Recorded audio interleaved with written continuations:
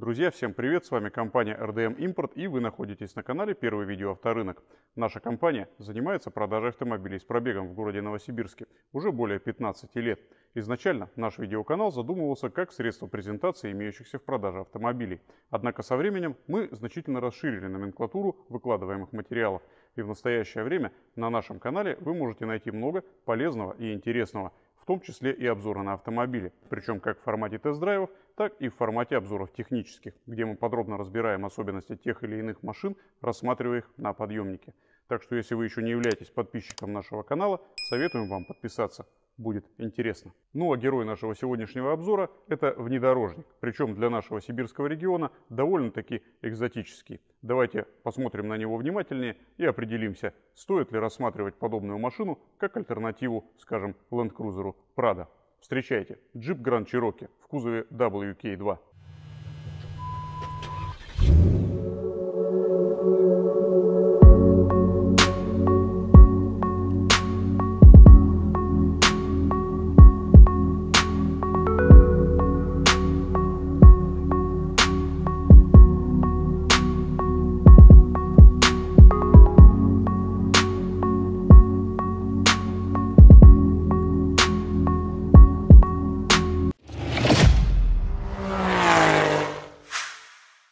Джип Grand Cherokee в кузове WK2 встал на конвейер в августе 2010 года. И с 2013 года машину обновили еще раз.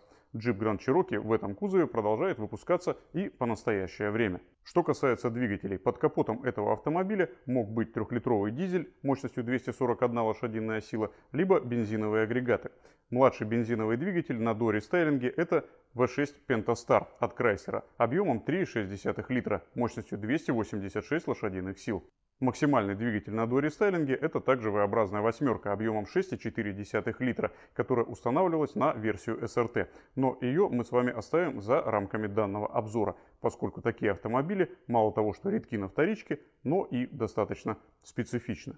Коробки передач на этих автомобилях могли быть только автоматическими, а привод в тех версиях, которые официально поставлялись на территорию Российской Федерации, был только полный. Редкие заднеприводные варианты – это машины, ввезенные серым импортом, и вряд ли вы будете всерьез рассматривать заднеприводный Чироки к покупке. И по традиции в начале обзора пару слов скажем о кузове Grand Cherokee и о том, насколько хорошо он сопротивляется нашим дорожным реалиям. Толщина лакокрасочного покрытия у джипа достаточно большая больше, чем на большинстве японцев. Средние показатели лежат где-то в пределах 130-180 микрон. Однако на отдельных машинах толщина лакокрасочного покрытия может доходить и до 250-280. Поэтому главный совет здесь при осмотре подобного автомобиля с толщиномером полагайтесь не на абсолютные цифры значений, а на величину разброса этих самых значений по автомобилю. Скажем так, если вы промерили машину и вся она лежит в пределах 260-280 микрон и разбег этот минимальный, то, скорее всего, мы все же имеем дело с заводской краской. Что касается ржавчины, скажем так, глобальных проблем по низу автомобиля, днище, пороги и так далее у этих кузовов нет. Понятно, со временем появляется эксплуатационный налет на элементах подвески. Он не должен вас отпугивать. Однако у этой модели есть также и пара довольно-таки слабых мест. Встречаются они далеко не на всех автомобилях, и большая часть из тех машин, где подобные дефекты проявляются, относятся к ранним периодам выпуска, начала 2011-2012 года. Первое слабое место – это зоны вокруг дверных ручек. На них может появляться вспучивание краски, и если его вовремя не залечить, со временем дело может закончиться и сквозной коррозией. Также при осмотре не забудьте обратить внимание на то, в каком состоянии находятся внутренние кромки дверей, а также крышки багажника. В этих местах также иногда бывает появляется вздутие. Также при покупке не забудьте сверить ВИН-номер автомобиля с номером в документах. У Grand Cherokee этой генерации ВИН находится в трех местах. В левом нижнем углу лобового стекла, на табличке на левой центральной стойке, а основной вин на кузове выбит на панели пола. Чтобы его увидеть, вам нужно будет отодвинуть вперед пассажирское сиденье и заглянуть в технологический лючок в напольном покрытии. Что касается номера двигателя, на этих автомобилях двигатель не имеет индивидуальной маркировки. Посему в документах у этих машин, как правило, в графе номер двигателя стоит слово «отсутствует». Итак, переходим к разговорам о силовых установках автомобиля Jeep Grand Cherokee. Как уже было сказано во вступлении, здесь могло быть несколько вариантов силовых установок. Дизельный двигатель оставим за рамками обсуждения в этом видео, поскольку тема эта достаточно обширная. Скажем так, итальянский агрегат под капотом Cherokee имеет неплохие тягово-мощностные характеристики, хорошую топливную экономичность, но имеет также и ряд особенностей можно сказать, конструктивных недочетов, которые могут вылиться в потенциально довольно дорогой ремонт. Двигатель V8 объемом 5,7 литра, мощностью около 350 лошадиных сил, довольно-таки беспроблемный агрегат. Единственный момент, которым он может огорчить своего будущего собственника, это отказ системы MDS – Multi Displacement System – которая позволяет отключать половину цилиндров из работы, когда двигатель работает в режиме частичных нагрузок. Эта система чаще прочего страдает, однако таких грандов в продаже достаточно немного. Подавляющее большинство автомобилей на российском вторичном рынке имеют двигатель объемом 3,6 литра, как раз таки такой, который установлен под капотом нашего гранда. Это двигатель фирмы Chrysler, V-образная шестерка с алюминиевым блоком. Привод ГРМ здесь цепной. Сами цепи здесь способны выходить более 300 тысяч километров пробега, и владельцы этих автомобилей крайне редко сталкиваются с необходимостью что-то делать с механизмом ГРМ. Этот двигатель также имеет гидрокомпенсаторы зазоров клапанов, поэтому лазить и выставлять зазоры вручную вам не придется. В целом этот агрегат крайне надежен. И есть уже достаточно большое количество подобных автомобилей, которые имеют пробег далеко за 200 тысяч километров, а в некоторых случаях успели пройти более четырех сотен и до сих пор находится на ходу без каких-либо вмешательств в силовой агрегат. Однако этот мотор также имеет ряд особенностей, про которые нужно знать, если вы выбираете Grand Cherokee себе. Если оставить за скобками возможные проблемы с навесным оборудованием, такие как ремонт генератора, например, или побежавшую помпу, которую нужно поменять, что может произойти у абсолютно любого автомобиля, любого другого производителя. Характерных для этого мотора проблем, по сути дела, три. Первое – это рокеры клапанов. Бывает такое, что в рокере клапана заклинивает подшипник. После этого, соответственно, клапан прекращает нормально открываться и начинается износ распредвала. Если эта проблема еще в зачаточной стадии, то достаточно будет поменять сам рокер и продолжить эксплуатировать автомобиль. Если же проблема запущена достаточно давно, то дело может кончиться уже довольно недешевым ремонтом с сопутствующей заменой самих распредвалов. К счастью, данная проблема чаще прочего проявляет себя стуком при работе мотора, а машину со стучащим двигателем вы вряд ли будете продолжать смотреть. Эта проблема чаще прочего встречается на автомобилях 11-12 года выпуска. С 2013 года компания Chrysler с этим вопросом вроде бы разобралась. Вторая проблема – это течь теплообменника. Теплообменник в данном случае располагается в развале блока цилиндров, и течь там могут как прокладки в месте крепления самого теплообменника к блоку, так и корпус, например, из-за трещины. И если в первом случае достаточно будет поменять прокладки, то во втором, скорее всего, придется менять сам теплообменник в сборе. И в этом случае лучше поставить его ревизионную версию с рестайлинговой машины. Правда, после этого нужно не забывать, что при замене вставыша масляного фильтра вам нужно будет заказывать уже другой каталожный номер, соответственно, тоже от рестайла. Течь теплообменника сверху вы, скорее всего, не увидите. Однако, когда масло вытекает, в данном случае оно скапливается в развале блока цилиндров и со временем начинает стекать по задней стенке, заодно попадая на коробку передач. Соответственно, если вы смотрите Grand Cherokee на подъемнике и видите обширное замасывание на агрегатах, знаете, скорее всего, придется заниматься теплообменником. Третья проблема относится к маслонасосу. Он здесь двухрежимный. Насос может работать как в режиме низкого давления, так и в режиме давления высокого на оборотах. Переключениями между двумя режимами ведает соленоид. Вот этот соленоид, как правило, и выходит из строя по причине все того же грязного масла. Что будет, если ваш маслонасос останется в режиме низкой производительности на больших оборотах, думаю, пояснять особо не нужно. К счастью, сам маслонасос – это чисто механический узел, с которым практически никогда ничего не бывает, а соленоиды в настоящее время уже можно заказать отдельно. К чести Grand Cherokee стоит отметить тот факт, что показатели давления масла в килопаскалях вы можете вывести на экран бортового компьютера. Поэтому отследить падение давления в системе вполне по силам даже обычному владельцу. Табличные значения нормативов давления вы можете найти в интернете.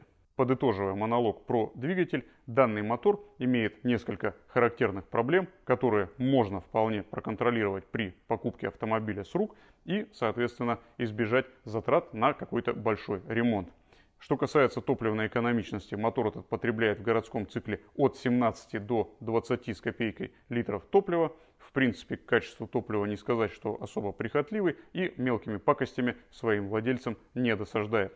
Что касается коробок передач, все они были на джипах автоматическими. На дорестайлинговые машины устанавливался мерседесовский автомат серии 722, который к моменту, когда попал на этот кузов, уже давно избавился от практически всех своих детских болезней и владельцам особо ничем не досаждает. С 2013 года на эти машины также начал устанавливаться автомат ZF 8HP70. Это уже восьмиступенчатая трансмиссия, которая обеспечила этому автомобилю более шустрый разгон и чуть лучшие показатели топливной экономичности. Ну а если вы смотрите Grand Cherokee, где установлен двигатель 5.7, то с ним будет агрегатироваться крайслеровская трансмиссия 545 RFE. Данный агрегат до 2012 года имел 5 передач, после 2012 года 6 какими-либо характерными болячками эти коробки не страдают. И при условии регулярной смены масла, где-то раз в 60 тысяч километров с фильтрами, способны отходить более 250 тысяч километров пробега без ремонта.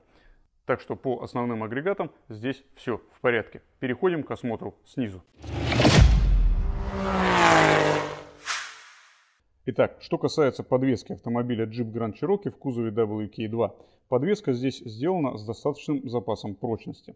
Первое, что обычно выходит из строя при пробегах от 60 до 80 тысяч километров, это стойки стабилизатора. Однако меняются они несложно и стоят недорого.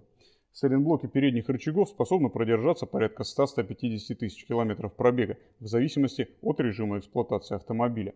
Примерно так же около сотни выхаживают рулевые тяги с рулевыми наконечниками. К большому пробегу вы также можете столкнуться с необходимостью поменять ступичные подшипники. Имейте в виду, спереди здесь ступица в сборе. Сзади подшипник меняется отдельно. Стоит, соответственно, дешевле, но и служит в разы дольше. Рулевая рейка на этих автомобилях особыми проблемами своим собственникам не досаждает. Ресурс до появления первых стуков порядка 100-150 тысяч километров пробега. Однако на нашей практике практически все Чироки, которые приходили на продажу, имели пробеги около 200. И с рулевой рейкой на этих автомобилях все было в полном порядке. Что касается задней подвески, здесь она многорычажная, соответственно сайлент-блоков много. Однако замена этих самых сайлент-блоков настигает владельцев подобных автомобилей, как правило, к пробегу за 200 тысяч километров, что можно считать вполне приемлемым ресурсом. Также можно найти информацию о том, что на Jeep Grand Cherokee в его, скажем так, европейской спецификации не отличались долгим сроком службы амортизаторы и выхаживали порядка 100 тысяч километров пробега, после чего начинали течь. Однако, если вы смотрите Cherokee в 2021 году и вы смотрите дорестайлинговый автомобиль, есть вероятность того, что на этой машине амортизаторы были уже поменены предыдущим владельцем.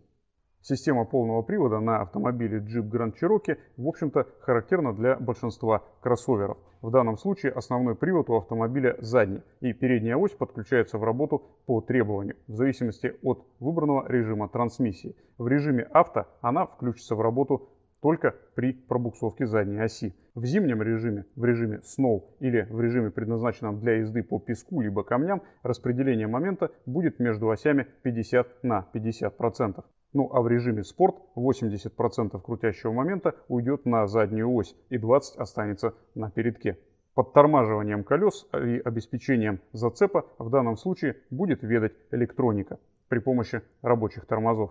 Что касается надежности системы полного привода, в нашем случае по механической части к раздатке вопросов нет. При пробегах более 200 тысяч километров случается, нет-нет, приходится менять, например, подшипники, но, как правило, этим и ограничивается. Цепи в этих раздатках, опять же, как правило, на гражданских версиях с моторами 3.6 и 5.7 меняются просто потому, что полезли, например, менять подшипник, а не потому, что она растянулась или тем более порвалась. Основная проблема системы полного привода на этих автомобилях, как правило, имеет отношение к электрической части. Например, к тому, что окислились контакты или вышел из строя сервопривод. Ну и, разумеется, общая рекомендация, осматривая автомобиль снизу, обратите внимание на отсутствие течи технических жидкостей. Проверьте, чтобы у вас был сухой стык коробки передач с двигателем, чтобы не текло масло с маслоохладителя, которое, как уже было упомянуто, в конце концов попадает на корпус коробки передач. И также проверьте сальники приводов и редукторов, чтобы на них не было никаких следов течи. Итак, подведем общий итог под всем вышеизложенным. Jeep Grand Cherokee в кузове WK2 это действительно довольно простой по конструкции, надежный автомобиль, который имеет в своей основе весьма надежные агрегаты. И будучи куплен в хорошем состоянии, а не под восстановление, будет довольно долго радовать вас своей безотказной службой, не требуя слишком больших денежных вливаний. Плюсом этого автомобиля можно назвать также и то, что помимо всего прочего у этой машины есть своя определенная харизма, которая присуща только ему одному. Ну вот и все на сегодня. Если данный обзор был вам чем-то полезен, понравился, ставьте лайки, подписывайтесь на наш канал. Также, если у вас есть или был Jeep Grand Cherokee в кузове WK2 и вам есть чем нас дополнить, в чем нас поправить и чем поделиться с людьми, которые могут искать себе подобный автомобиль, также отразите это в комментариях. Ваш комментарий может оказаться кому-то очень полезен. Спасибо за просмотр. Хорошего дня. Пока.